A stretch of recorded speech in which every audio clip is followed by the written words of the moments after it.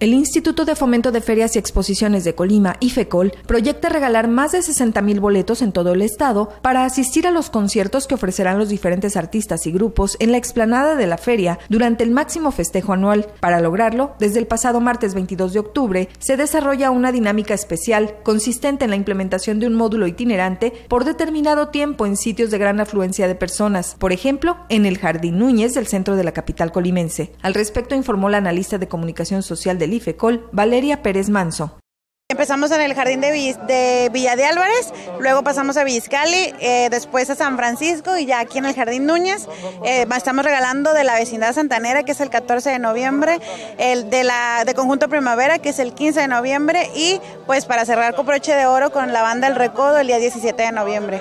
Ha sido impresionante el nivel de de personas y de la calidad de personas que han venido y han esperado y han hecho el esfuerzo por estar aquí. Hemos repartido alrededor de más de 2.000 boletos por evento. Detalló Valeria Pérez que aunque los conciertos en mención son gratuitos, es necesario que los asistentes cuenten con boleto para el acceso y particularmente para mayor control en materia de seguridad. Protección Civil siempre nos pide un aproximado de personas que vamos a tener porque hay que decirle a, Seguridad Pública, hay que decirle a Protección Civil, hay que decirle incluso a la Cruz Roja, decirle pues la capacidad de personas que vamos a tener pues para tener todo listo para cualquier cosa que pueda pasar pues poder actuar de la manera que, que se pide. Algunas personas que acudieron a solicitar sus boletos coincidieron en señalar que la dinámica implementada es acertada. Pues está muy bien y está muy bien formada la fila.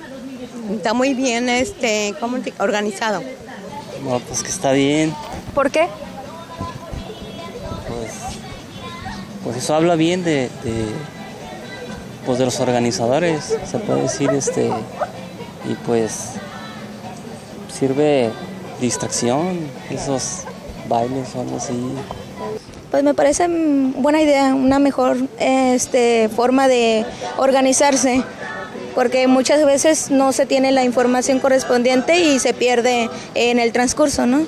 Cabe mencionar que a partir del lunes 28 de octubre y hasta el 17 de noviembre se regalarán boletos en las oficinas de la Feria de Colima en horario de 9 de la mañana a 2 de la tarde y de 6 de la tarde a 8 de la noche. Asimismo, el lunes 28 se establecerá un módulo en el municipio de Ixtlahuacán y otro en Cuauhtémoc, el martes 29 en Armería y Coquimatlán, para concluir el miércoles 30 de octubre en Tecomán y Minatitlán. Para Noticias 12.1, Noemí Castor.